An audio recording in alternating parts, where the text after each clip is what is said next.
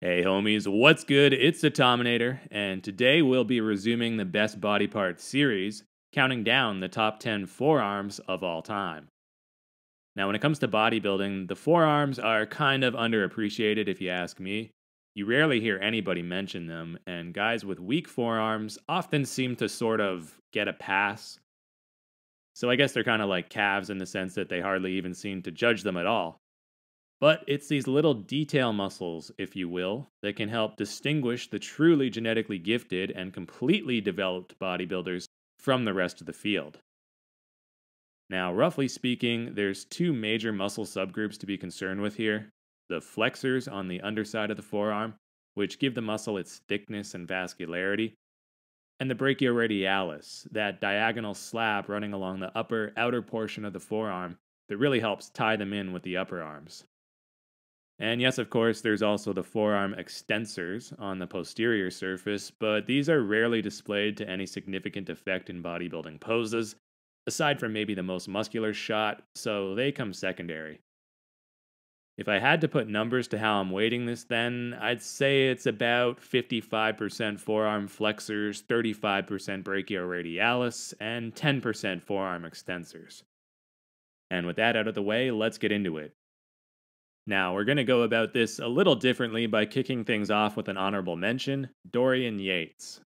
Yeah, I know it's a surprising exclusion, especially considering that Yates' alleged 19 inch forearms would represent some of the largest on the entire list. But at the same time, it's all relative. And relative to the rest of his physique, Dorian's forearms just didn't stand out all that much to me. He definitely had some beefy forearm flexors, there's no question, you could see that anytime he hit a front double bicep shot. And compared to his upper arms, which were always a little undersized next to his humongous torso, even before all the tears, his forearms were indeed an impressive sight. But while you can certainly find a few flattering photos that play them up, I was generally never that blown away by his brachioradialis development. As we'll see soon enough, Yates couldn't hold a candle to most of the modern day guys on this list in that regard. So, yeah, even though they were far above average, I consider Dorian's forearms to be a little overrated. Certainly, they were nowhere near as exceptional as his back or calves. And this is why he ultimately fell just short. But for what it's worth, if we extended this beyond a top 10, Yates would probably be next in line. Alright, but on to the list proper, where Larry Scott starts us off at number 10. Here you had a true pioneer of arm development. Those arms were ideally proportioned, with incredibly low insertions, especially in the biceps and forearms. Unlike most of the guys competing today, old school bodybuilders like Larry actually trained the forearms directly. What a novel concept, right? Which is why it shouldn't come as too much of a shock that the golden era completely dominates the first part of this video. I've never understood why a professional bodybuilder wouldn't train them. I mean, how hard is it to throw in a couple sets of wrist curls at the end of an arm or back day? To me, it's just inexcusably lazy to neglect them. But anyway, not only were Scott's forearms full and massive, they were also highly aesthetic. I doubt even Arnold himself could improve upon this shot. Certainly, he's not besting Larry in the forearm department. All right, but next up at number nine, we've got Sergio Oliva, another certified legend of bodybuilding who you may be thinking deserves a higher placing. Well, at one point, I was actually flirting with the possibility of taking both him and Larry Scott off of the list altogether, so just be thankful they made it. But yeah, Sergio's exactly the type of guy I was referring to in that little preamble about how great forearm development can help us identify the true genetic freaks because the myth wasn't missing a single body part. Many people, myself included, consider him to be the most genetically gifted bodybuilder who ever lived. And witnessing something like this, is it really so hard to see why? Look at the silhouette he carved, look at those perfect proportions. Sergio had beastly forearms, and arms in general, especially for his time period. And while he wasn't known for being overly vascular, this is one area where Oliva did boast some impressive veiny detail. His son, Sergio Oliva Jr., also sports some exemplary forearms. This appears to be one genetic strength he inherited from his dad. Maybe he'll be considered among the top 10 in years to come, but for now, he hasn't yet earned that distinction. But back to Oliva Sr. This is a great picture because it showcases the mass and cuts through the brachioradialis and extensors on the one arm, and the thickness and vascularity of the flexors on the other. And you can note just how low his insertion points are here. There's almost no gap between his wrist and forearm muscles. And of course, we gotta show his iconic victory pose since he's the best to ever do it. Though, admittedly, if we're focusing solely on the forearms themselves, then there's at least one other guy who surpasses him on this one. But we'll come back to that later. For now, let's carry on to number 8, Mike Mentzer. Mike's another example of crazy forearm genetics. Pretty much everyone on this list has low insertions, and Mentzer was no exception. He also had a ton of veins snaking through this region, which lent an element of freakiness to an otherwise aesthetic old school physique. From the back, you can note how prominent those forearms were. In fact, the right one there is so bulbous it almost looks shopped. But I think that's just the angle. And they really helped cap off his most muscular, one of the hardest and densest looking of his era. Mentzer's physique just oozed compact power in a way that few others from the 70s or early 80s could ever hope to match. Franco Columbu would probably be the only other guy with that quality that comes to mind. And of course, you've got to have great forearms to pull off these straight arm poses, like the mantis pose pictured right. He was also fond of hitting this overhead shot, uh, essentially a modified victory pose, this was one of his signatures, and it simply wouldn't work with little twigs for forearms. But luckily, Mike never had to worry about that problem. Okay, but while we're on the topic of old school, it doesn't get much older than this with Chuck Sipes, Mr. America of 1959. Chuck is definitely worth an honorable mention, and it was tough to have to cut him because his forearms were monstrous and way ahead of their time. He also won the Mr. World in 1968 and even competed at the Olympia one time in 67, where he placed second behind who else? Sergio Oliva. Back in those days, bodybuilders were also celebrated for their feats of strength, as illustrated here in one such photo shoot. That's him there on the right with Frank Zane on the left and Sergio in the middle. A really cool classic pic, and you gotta appreciate the brachioradialis on Sipes here. Here's a comparison with the next entry on our list. That's Chuck's arm there on the left with all the veins, but for my money, Viator's was just a bit bigger and better. That's right, Casey Viator checks in at number 7. This guy had massively developed forearms. They were easily his most standout body part. I like how he made a point of actually showing them off on stage, too. Not enough bodybuilders seem to do this today with these smaller muscle groups. How often do you ever see someone think to point out his calves or forearms nowadays? It's ironic because, especially when it comes to the calves, these are increasingly rare commodities that would really help set you apart from the rest of the field.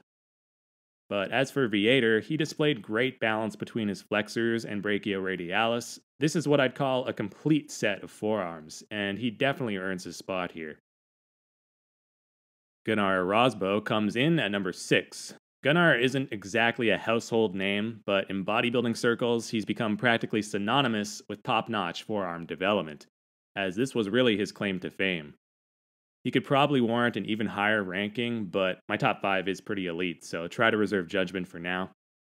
Of all the old school names on this list, though, I hold Gunnar in the highest regard when it comes to this particular body part. They were allegedly 20 inches around at his peak, which is absolutely ludicrous if that's true, and possibly the largest measurement of any pro bodybuilder in history. But the eyeball test would beg to differ. I can't imagine his forearms actually being larger than most of the names to come, especially given when he competed back in the late 70s and early 80s, because bodybuilders back then simply weren't as massive as they are today. Then again, he was pretty tall, I believe over six feet, so I suppose it is possible. But anyway, here's a funny little tidbit of Gunnar's unconventional dietary approach, let's just say. Sounds like a fun guy. But then again, I don't see how eating hot dogs and chugging beer is gonna exactly help you win any bodybuilding titles. Okay, and on to the second half, where Flex Lewis makes his first appearance at number 5. I'm honestly baffled why Lewis's name isn't brought up more often in these best forearm discussions, as he's easily among the most impressive you'll find in the current ranks. Maybe he just tends to get overlooked because he was a 212 competitor. I don't know, but he definitely deserves more respect.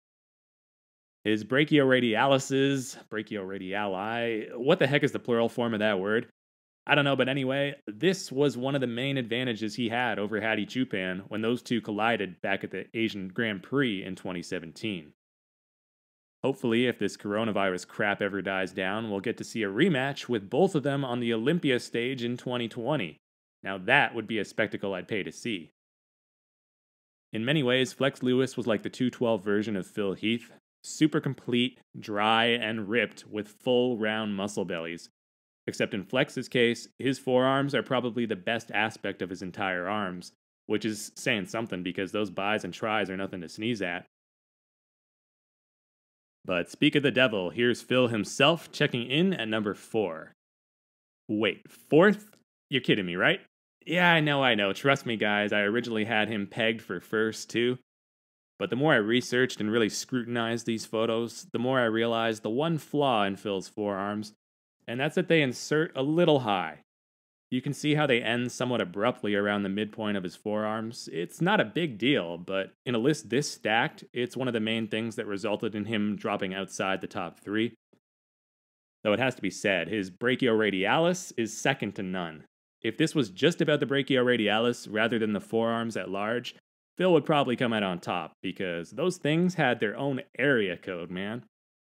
As I've stated before in past videos, Phil's forearms in that front double bi literally resemble an inverted pair of calves.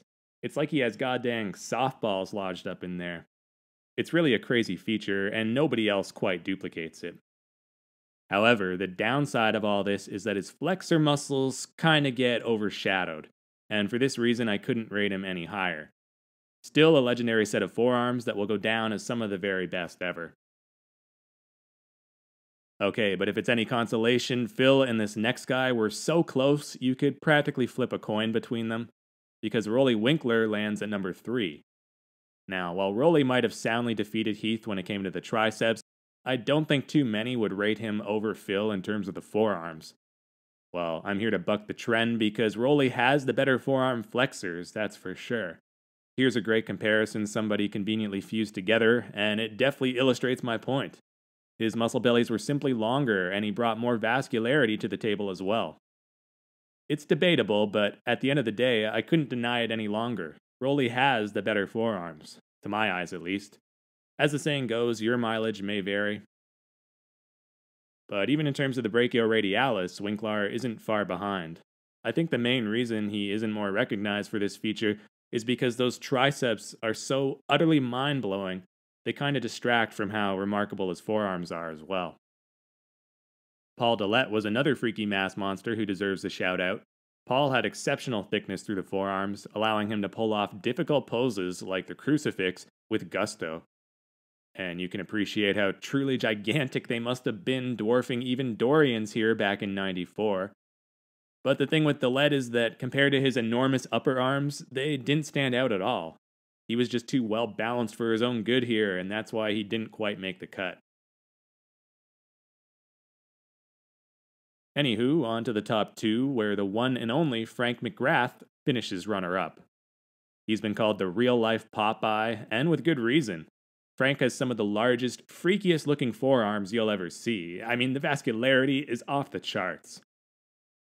And based on all the insane post workout photos that regularly circulate on social media, I could easily understand the temptation to crown him as the automatic number one. But as always, we've got to take filtered offstage images with a grain of salt.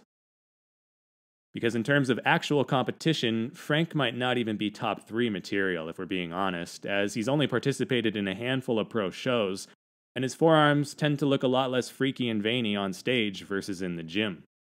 They're still obviously a dominant body part for him, however, and totally overpower his upper arms, hence the Popeye comparisons. One reason I rate him above the likes of far more decorated bodybuilders such as Heath and Roelly, even though they're arguably better, is because how much his forearms stand out in relation to the rest of his physique. Roelly's, and to a lesser extent Phil's forearms, remain overshadowed by their triceps. You simply can't say the same about this guy. In a way, Frank McGrath is like the antithesis of Phil Heath here. Where Phil is mainly about the brachioradialis, Frank is all about the flexors. If you could somehow combine their strengths together, that'd be like the best of both worlds, and you'd probably wind up with the ultimate unstoppable pair of forearms. Okay, but before we get to number one, just wanted to give a final honorable mention to Jason Huh. And pretty sure I'm mispronouncing that, but whatever. Jason was a lesser known bodybuilder who nonetheless had some killer forearms. This guy basically turned pro back around 2010 or so and quit bodybuilding just a couple years later in order to focus on his family. So if you haven't heard of him, that would probably be why. But he was someone like Frank whose forearms actually rivaled his upper arms. Still, not enough contest showings under his belt to solidify a top 10 placing. But this next gentleman certainly had that, and this is, of course, the most glaring omission thus far Lee Priest, coming in at number one. Look, they might not be the biggest, they might not be the freakiest, but as far as I'm concerned, Lee had the best forearms in bodybuilding history, bar none. What he lacked in sheer circumference, he made up for with outrageous proportions. Whatever he might have missed in terms of freakiness, which isn't much because those things were freaky, he made up for with shapeliness and a unique aesthetic appeal. Lee knew how to present his forearms like no other. Remember when I said earlier that one other person surpassed even Sergio Oliva's victory pose, at least as it pertains to the forearms? Well, this is him. Priest's forearms in this shot look so outstanding, so unbelievably good. This is what really clinched the win for him right here. I mean, look at that. This was superhuman. It's no wonder he got that Superman tat in the crucifix, you can see clearly just how low they insert, going all the way down into the wrist. Love him or hate him, one thing's for sure Lee was truly blessed in the arm department, and perhaps the forearms most of all. Plus, as an added bonus, he even reveals the secret to his humongous forearm muscles. This is priceless, guys, so let me roll the clip for you here. I never normally do this, but you know, because the camera's here, I thought I'd do a little bit of forearm. Really, you don't need to do this. You know, young kids, young guys, if you masturbate, that's enough. You gotta love the Aussie smartass sense of humor. Just be careful with that advice. You don't want to wind up like Quagmire when he first discovered internet porn.